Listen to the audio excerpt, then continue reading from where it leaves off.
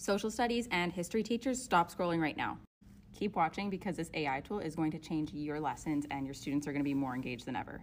You're going to go to Humy.ai, press login or try for free. Once you're in, they have over 1,000 different uh, historical figures you can chat with. All you need to do is press this little share button, copy the link, and your students can click on the link and chat with Christopher Columbus or whoever. But they added a new feature which is amazing. Go to the assignments tab and you can create an assignment with AI or update one you already have, and then the AI can actually give feedback on it. They have three uh, pre made assignment types so short answer, interviews, or debates. Let's say I'm doing an ancient Egypt project.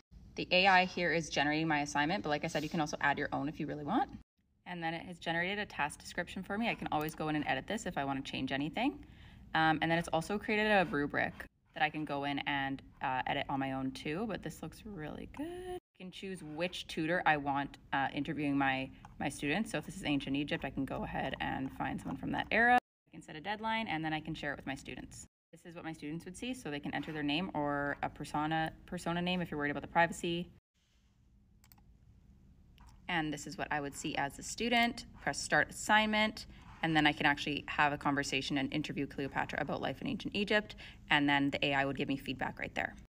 So, as a student here, I'm interviewing Cleopatra about daily life in Egypt. In my teacher dashboard, I can see my assignments here and I can actually assign it so I can set a deadline. All I have to do is press activate and I just press share, copy the link, and then I would post this on my LMS and the students would see the assignment there. I can see all the students who have submitted it here, uh, the time that they've submitted it, and the suggested score from the AI. By clicking this, I can see the feedback the AI gave the student uh, with a suggested score. Of course, you need to read the conversation. You can see the entire conversation here, and you can use the feedback from the AI. Uh, but of course, use your professional discretion, but at least it gives a student um, an idea of how they're doing. And I just think this is such a cool way to learn about history and actually chat with the characters rather than taking notes or reading textbooks. And I just know I found teaching social studies uh, a challenge for me to make engaging for my students. So this website is amazing for that. Let me know if you try it and follow for more AI tips for teachers.